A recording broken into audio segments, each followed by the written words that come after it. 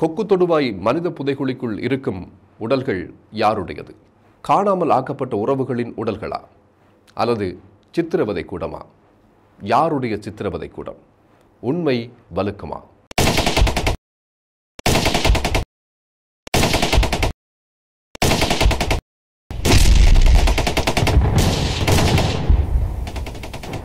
வணக்கம். புதைக்கப்பட்டவர்கள் எழுந்து வரப்போவதில்லை கொக்கு தொடுவாய் மனித புதைகுழியில் புதைக்கப்பட்ட உடல்கள் யாரெனும் கேள்வி தொடர்ந்து கொண்டிருக்கின்றது. இந்த நிலையில் கொக்கு தொடுவாய் மனித புதைகுழி அகழ்வில் முதலாம் நாள் தொடக்கம் இன்று ஐந்தாவது நாள். இன்று வரை இடம்பெற்ற முக்கியமான விடயங்களை விவரிக்கப் போகிறது இந்த காணொளி. கடந்த ஜூன் மாதம் இருபத்தி ஒன்பதாம் தேதி தேசிய நீர்வளங்கள் வடிகாலமைப்பு சபை நீர் குழாய்கள் பொருத்துவதற்காக அந்த பகுதியிலே தோண்டுகின்ற பொழுது இந்த மனித எச்சங்கள் கண்டுபிடிக்கப்பட்டன. புதையுண்டு போன சில விடயங்கள் வெளியிலே வருவதற்கு ஏதாவது ஒரு காரணம் ஒன்று தேவைப்படுகிறது. அது இந்த தேசிய நீர் வளங்கள் வடிகாலமைப்பு சபை மூலம் இந்த மனித புதைகுழி அடையாளம் காட்டப்பட்டிருக்கிறது. அதற்கு பிறகு முல்லைத்தீவு நீதவான் நீதிமன்றத்தில் இடம்பெற்ற வழக்கு விசாரணைகளின் பின் இந்த மனித புதைகுழியை முற்றுமுழுதாக அகழ்வு செய்து பார்ப்பதற்கான அனுமதி வழங்கப்பட்டது. கொக்கு தொடுவாய் மனித புதைகுழி தொடர்பான அகழ்வு பணிகள் கடந்த செப்டம்பர் மாதம் ஆறாம் தேதி உத்தியோகபூர்வமான முறையிலே ஆரம்பிக்கப்பட்ட நிலையில் இன்று அதனுடைய ஐந்தாவது நாள் அகழ்வு பணிகள் இடம்பெற்றுக் கொண்டிருக்கின்றன. இந்த ஐந்து நாட்களிலும் அங்கே தோண்ட தோண்ட மனித உடல்களினுடைய எச்சங்கள் கண்டுபிடிக்கப்பட்டு கொண்டிருக்கின்றன.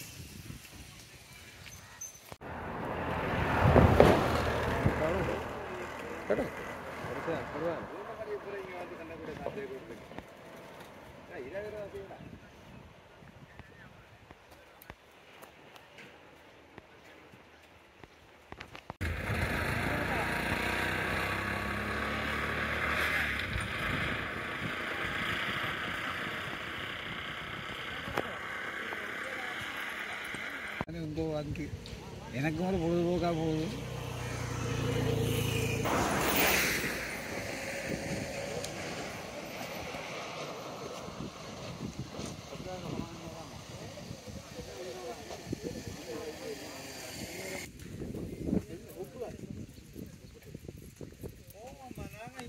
அதிர்ச்சியூட்டும் விதமாக பார்ப்பவர்களை இன்னும் திகைப்படைய வைக்கும் விதமாக அந்த மனித புதைகுழிக்குள் மனித எச்சங்கள் தோண்ட தோண்ட வந்து கொண்டே இருக்கின்றன. இந்த மனித புதைகுழி தோண்ட ஆரம்பித்து இரண்டாவது நாள் மனித எலும்புக்கூடுகளோடு துப்பாக்கி சன்னங்கள் காணப்பட்டதாக தெரிவிக்கப்பட்டது. ஆகவே இங்கே புதைக்கப்பட்டிருக்கின்ற அத்தனை உடல்களும் ஏதோ ஒரு ஆயுதத்தினால் தாக்கப்பட்டு உயிர் போன உடலங்களாகத்தான் இருக்கிறது. குறிப்பாக துப்பாக்கியால் சுடப்பட்டு இறந்து போனவர்களுடைய உடலங்களாகத்தான் இருக்கிறது. காரணம் அவர்களுடைய எலும்புக்கூடுகள் மண்டை ஓடுகளில் கூட துப்பாக்கி சின்னங்கள் துளைத்த அடையாளங்கள் இருப்பதாகவும் தெரிவிக்கப்பட்டது.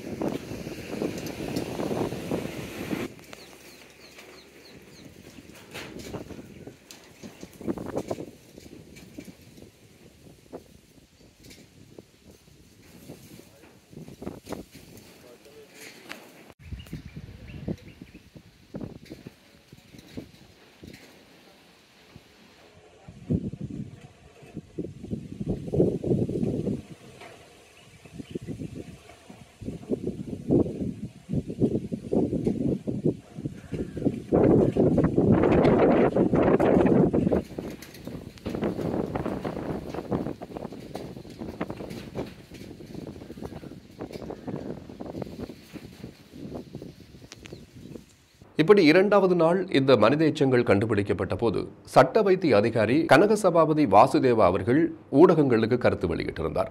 இதுவரை எடுக்கப்பட்ட மனித எச்சங்களை விட இன்னும் அதிகமான மனித எச்சங்கள் இந்த புதைகுழியில் புதைகுண்டு கிடப்பதாகவும் அத்தனை உடல்களையும் தோன்றி எடுக்க வேண்டி இருப்பதாகவும் தெரிவித்திருந்தார் அதே நேரத்தில் எடுக்கப்பட்ட அந்த மனித எச்சங்களை பகுப்பாய்வு செய்த பிறகுதான் முற்றுமுழுதான கருத்துக்களை அறிக்கையினை வெளியிட முடியும் என்பதை ஊடகங்களுக்கு அவர் தெரிவித்திருந்தார்.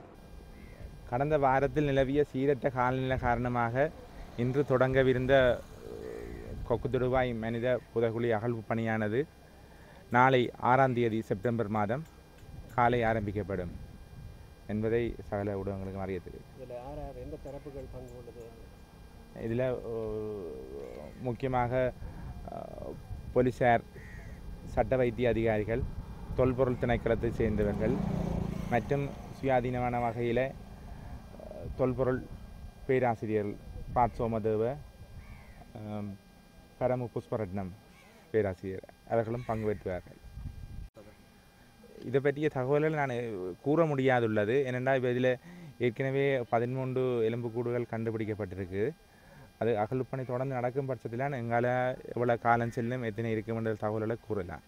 அது உங்களுக்கு ஒவ்வொரு நாளும் நான் கேட்க உங்களுக்கு தகவல் அப்டேட் பண்ணுவேன். இந்த மனித புதைகுழியில் தோண்டப்பட்ட உடல்களோடு இருந்த உடைகள் காணப்பட்டதாகவும் அந்த உடைகள் தொடர்பாக முற்றுமுழுதாக எந்த ஒரு விடயத்தையும் கூற முடியாமல் இருப்பதாகவும் அவர் தெரிவித்திருந்தார்.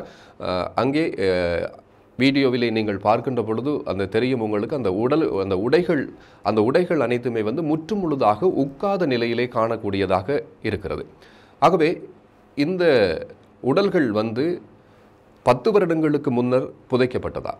அல்லது அண்மையில் சில வருடங்களுக்கு முன்பு புதைக்கப்பட்டதான்ற கேள்வி இங்கே வலுவாக வலுக்கிறது. பெரும் சந்தேகமும் ஏற்படுத்துகிறது. இந்த கொக்கு தொடுவாய் மனித புதைகளினுடைய மூன்றாவது நாள் அகழ்வு பணிகளின் போது யாழ் பல்கலைக்கழக மருத்துவப்பீட மாணவர்களும் அங்கு வருகை தந்திருந்தார்கள். அவர்களோடு சேர்த்து தொல்லியல் ஆய்வாளர் பரமு புஷ்பரட்னமும் இணைந்திருந்தார். இரண்டாவது நாள் மனித புதைகுழி அகழ்வு பணிகளின் போது துப்பாக்கிச் சின்னங்கள் கண்டுபிடிக்கப்பட்டதால் இந்த மூன்றாவது நாள் அகழ்வு பணிகள் பெரும் எதிர்பார்ப்போடும் பரபரப்பாகவும் இருந்தது என்று கூற முடியும். உலக மக்களால் முற்றுமுழுதாக உற்று நோக்கப்படுகின்ற ஒரு விடயமாக மாறியிருந்தது. காரணம் இரண்டாவது நாள் மீட்கப்பட்ட துப்பாக்கிச் சின்னங்கள் மூன்றாவது நாள் எப்படிப்பட்ட விடயங்கள் அந்த புதைகுழியிலிருந்து மீட்கப்பட போகிறது என்பதை அறிந்து கொள்வதற்கு அனைவரும் ஒரு பரபரப்போடும் ஒரு ஏக்கத்தோடும் ஒரு திகைப்போடும் பல சந்தேகங்களோடும் காத்து கொண்டிருந்தார்கள். இந்த மூன்றாவது நாள் அகழ்வு பணியின் போது எதிர்பார்த்ததை போன்று இந்த திகைப்படைய வைத்ததை போன்று எல்லோரையும் பரபரப்பாக வைக்கின்ற ஒரு விடயமாகவும் அச்சப்பட வைக்கின்ற விடயமாகவும் இரண்டு உடல்கள் அங்கே மீட்கப்பட்டிருந்தது. தமிழீழ விடுதலை புலிகளினுடைய பெண் போராளிகளினுடைய உடல் எச்சங்கள் என்று நம்பப்படுகின்ற இரண்டு பேர்களுடைய உடல் அங்கே மீட்கப்பட்டிருந்தது.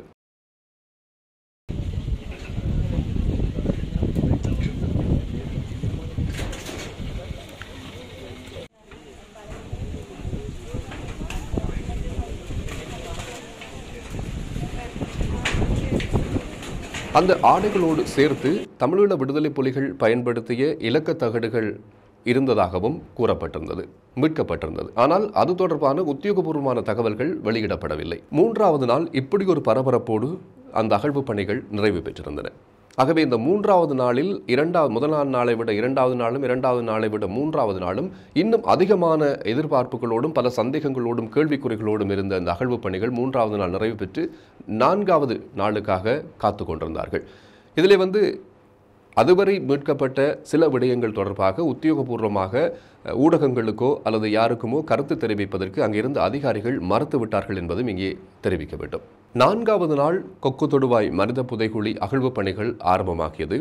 ஆரம்பமான வேளையில் ஊடகவியலாளர்கள் யாருமே அங்கே அனுமதிக்கப்படவில்லை என்பதும் இங்கே பதிவு செய்ய வேண்டும். இந்த நான்காவது நாள் அகழ்வு பணியின் போது தமிழீழ விடுதலை புலிகளினுடைய இலக்க தகடு ஒன்று மீட்கப்பட்டதாக அறிய கிடைத்தது. ஆயிரத்து முன்னூற்று முப்பத்தி மூன்று என்ற ஒரு நம்பருடைய இந்த இலக்க தகடு ஒன்று மீட்கப்பட்டதாக அறிய கிடைத்தது. ஆனால் அது தொடர்பில் உத்தியோகபூர்வமாக தகவல்களை வழங்குவதற்கு அங்கிருந்த எந்த ஒரு அதிகாரியுமே வந்து தகவல்களை வழங்குவதற்கு மறுத்துவிட்டார்கள்.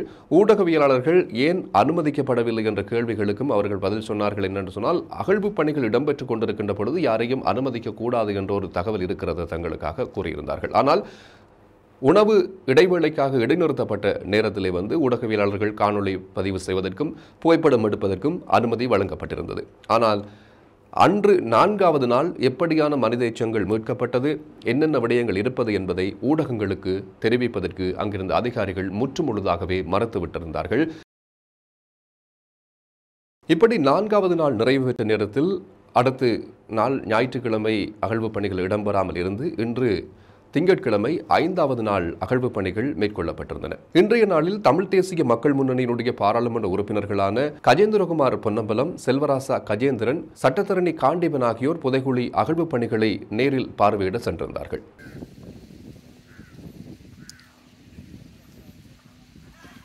இப்படி இன்றைய ஐந்தாவது நாள் அகழ்வு பணிகள் ஆரம்பிக்கப்பட்ட பொழுது இதிலே வந்து ஊடகவியலாளர்களுக்கு வந்து அனுமதி வழங்கப்பட்டிருக்கிறது எப்படி என்று சொன்னால் காலை அகழ்வு பணிகள் ஆரம்பிப்பதற்கு முன்னரும் அதே நேரத்தில் மதிய உணவு இடைவேளையின் போதும் அதே நேரத்தில் அகழ்வு பணிகள் இன்றைய நாள் நிறைவு பெற்ற உடனும் அவர்கள் புகைப்படம் எடுப்பதற்கோ காணொளிகளை பதிவு செய்வதற்கோ அல்லது செய்திகளை சேகரிப்பதற்கோ அனுமதி வழங்கப்பட்டிருக்கிறது. அகழ்வு பணிகள் இடம்பெற்றுக் கொண்டிருக்கின்ற நேரத்தில் எந்த ஒரு ஊடகவியலாளர்களும் அங்கே அனுமதிக்கப்படவில்லை.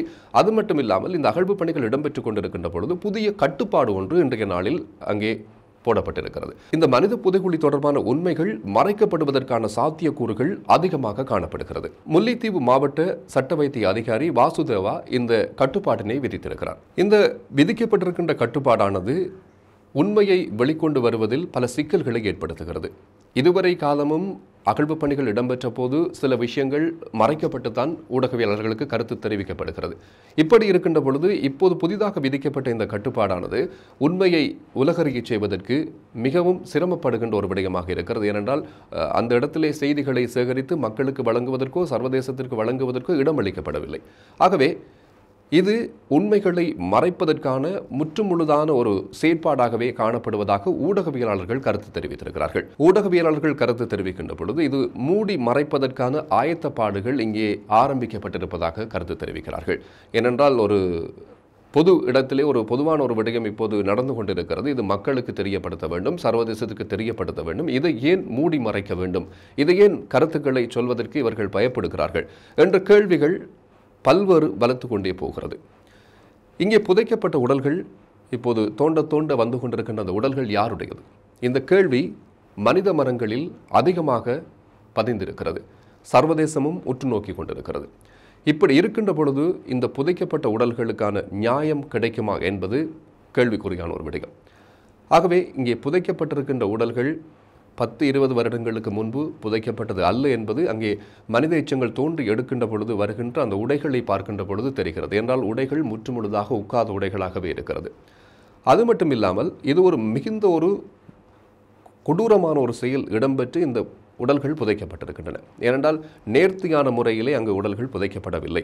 உங்களுக்கு தெரியும் வீடியோ காட்சிகளை அகழ்வு பணிகள் இடம்பெற்ற அந்த வீடியோ காணொளிகளை பார்க்கின்ற பொழுது அங்கே உடல்கள் கண்ட மாதிரியாக போடப்பட்டு குவிக்கப்பட்டு ஒன்று ஒரு உடலோடு ஒரு உடல் இடையிலே சொருகி எல்லாம் அங்கே புதைக்கப்பட்டிருக்கிறது.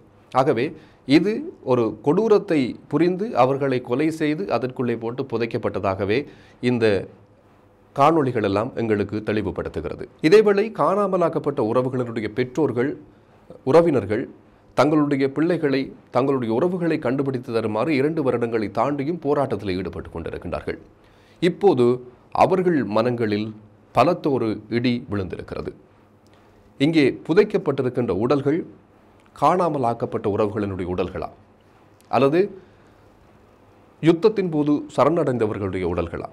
அல்லது வேறு யாருடைய உடல்களா? இப்படி பல்வேறுபட்ட கோணங்களில் கேள்விகளும் அதி பயங்கரமாக மனதுக்குள் தாக்கத்தை ஏற்படுத்துகின்ற ஒரு செயலாக இந்த விடயம் பார்க்கப்படுகிறது. ஆகவே இத்தனை கேள்விகள் இங்கே அதிகமாக ப- வலுக்கிறது. சர்வதேசத்திலே இருக்கின்றவர்களாக இருந்தாலும் சரி இலங்கையில் இருக்கின்றவர்களாக இருந்தாலும் சரி இப்போது இந்த மனித புதைகுழி அகழ்வு பணிகளின் போது உண்மையை வெளிக்கொண்டு வர வேண்டும்.